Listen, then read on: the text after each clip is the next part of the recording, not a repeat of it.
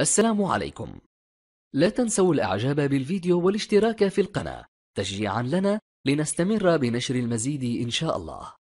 تزامنا مع الزيارة التي يقوم بها الملك محمد السادس إلى الدوحة أكد أمير قطر الشيخ تميم بن حمد الثاني اليوم الثلاثاء أن الدول الأربع التي تحاصر قطر وفرضت عقوبات عليها لا تريد حلا للأزمة الخليجية.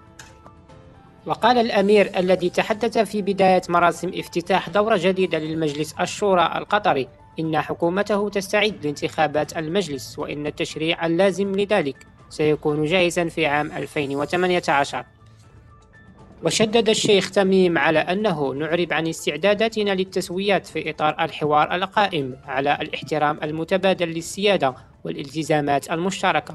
ولكننا من ناحية أخرى ندرك أن المؤشرات التي تردنا من دول الحصار أنها لا تريد إلا التواصل إلى حل.